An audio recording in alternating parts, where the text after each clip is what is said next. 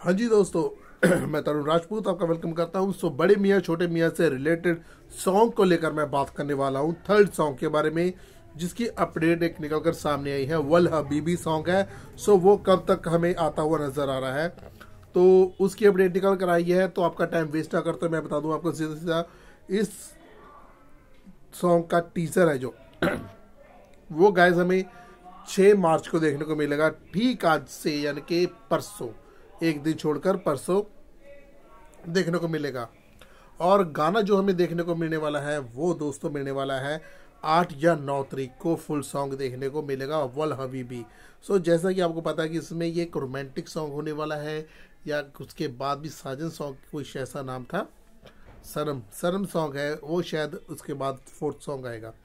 सो चार सॉन्ग है इस मूवी में, और मुझे यार कहीं ना कहीं ऐसा लगता है कि जितनी हाइप इसकी बनाई जा रही है ना, वो ज़बरदस्ती बनाई जा रही है। ज़बरदस्ती उसको सॉन्ग को प्रेजेंट कर रहे हैं।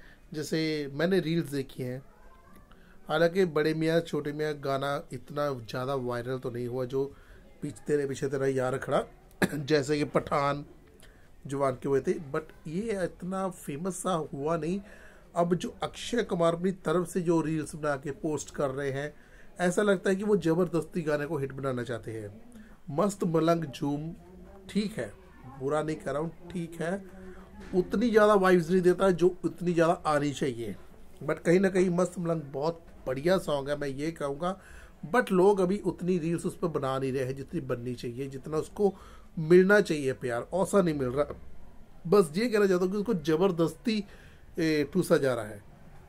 बाकी यार, मैं तो ये चाहता हूँ कि मूवी बहुत बड़ी ब्लॉकबस्टर हो। दोनों को इस मूवी से बहुत आशा है कि ये मूवी का चलना बहुत ही ज़रूरी है दोस्तों। प्लीज़ इस मूवी को सपोर्ट कीजिए। और आपको मैं बताता चलूँ कि ये गाना 9 या 8 मार्च को डेफिनेटली आप लोगों के बीच में आएगा। और अगर ट्रेलर की बात करूँ तो ट्रेलर दोस्तों हमें इसी मंथ देखने को मिलेगा।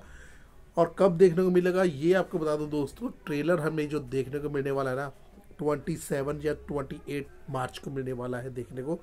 10-12 दिन पहले हमें ट्रेलर देखने को मिल जाएगा। और यार सच में कह रहा हूँ इस मूवी के लिए हम वेरी एक्साइटेड बहुत। इसके लिए वेट करना पड़ रहा है। हम जल्दी से कह रहे हैं कि ईद का मौका आए। तो इस बार खिलाड़ी कुमार और टाइगर श्राफ हमें ईद दें। सो so, बाकी दोस्तों आप लोगों क्या टेक है? तो प्लीज़ कमेंट में बताइएगा। अगर चैनल सब्सक्राइब नहीं किया तो प्लीज़ कर जाइएगा। Thank you